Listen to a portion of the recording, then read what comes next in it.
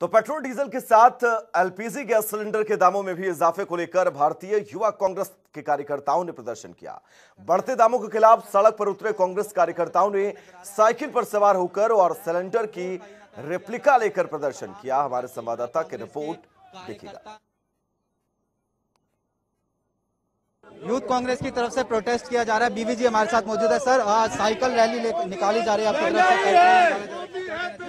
देखिए मोदी तो महँगाई प्रूव हो चुका है। नरेंद्र मोदी जी, अच्छे दिन का बात किया था। अच्छे दिन किसी को नहीं चाहिए, पुराना दिन लौटाने के लिए हमने मांग रहा है। कि तो उस समय में जो इंटरनेशनल मार्केट में जो कच्चा तेल ज़्यादा था रेट प्रति बैरल तब भी साठ सत्तर रुपए में पेट्रोल मिलते थे। अभी साठ डॉलर पे मिल रहा है। इनको तीस रुपए में देने का था। वो छोड़ के सौ रुपए बनाए लूट रहे सरकार लुटेरा सरकार है। ये देते हैं कि केंद्र सरकार जनता की भलाई में जो है इस पैसे का उपयोग करेगी। कौन सा जनता का? जनता के पास पैसा ही नहीं है क्या करेगा?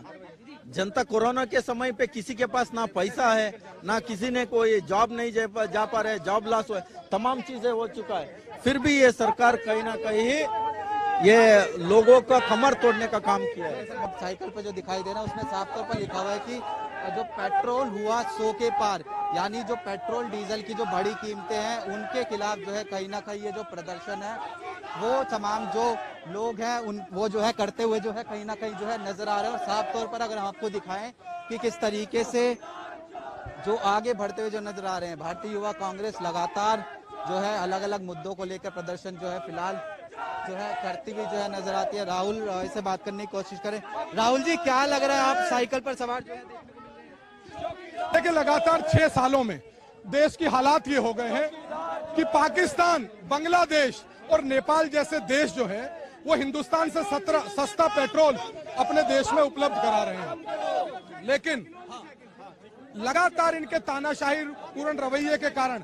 आज अंतर्राष्ट्रीय मार्केट में कच्चे तेल के दाम कम होने के बावजूद आज हमारे देश में लगातार पेट्रोल और डीजल के दाम बढ़ रहे हैं। लगातार गैस का सिलेंडर हज़ार रुपए के नज़दीक पहुँच गया है।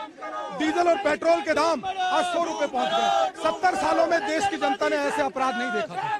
तो ये राहुल थे जो भारतीय युवा कांग्रेस के प्रवक्ता हैं। अब जो है इन तमाम जो लोग युवा कांग्रेस के कार्यकर्ता आगे जा रहे थे, उनको जो है फ़िलहाल जो जो अलग अलग फोर्सेस के जवान है, प्रशासन है, पुलिस बल है, उसके द्वारा जो है रोक लिया गया है। और साफ़ तौर पर महँगाई के खिलाफ जो ये प्रदर्शन है, वो कहीं ना कहीं जो है तमाम भारतीय युवा कांग्रेस के जो कार्यकर्ता हैं, करते हुए नज़र आ रहे हैं। कैमरामैन आसिफ के साथ स्पर्श शर्मा, जनता टीवी, दिल्ली।